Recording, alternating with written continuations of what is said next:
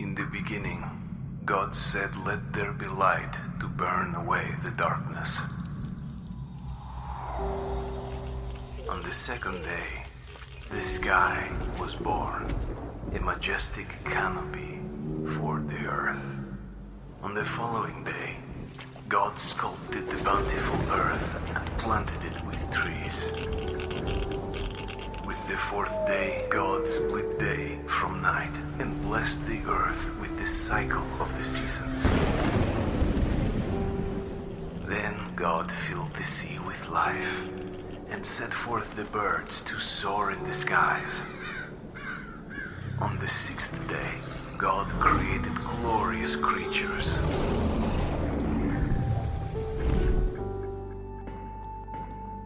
Chief of these were mankind,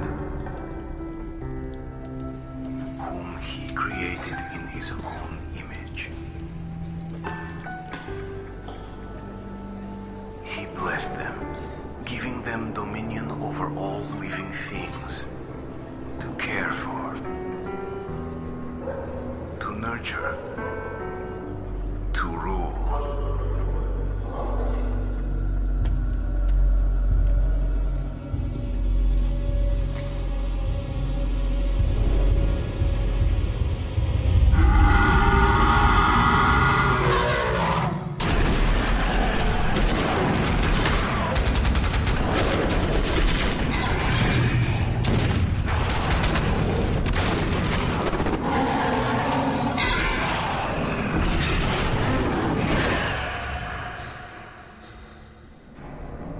And on the seventh day, they say God rested.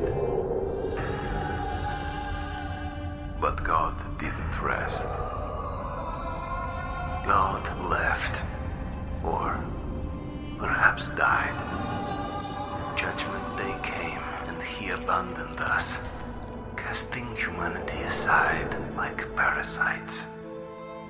But there is still hope. Have to face this hell full on. Our fate, I hold in my own hands.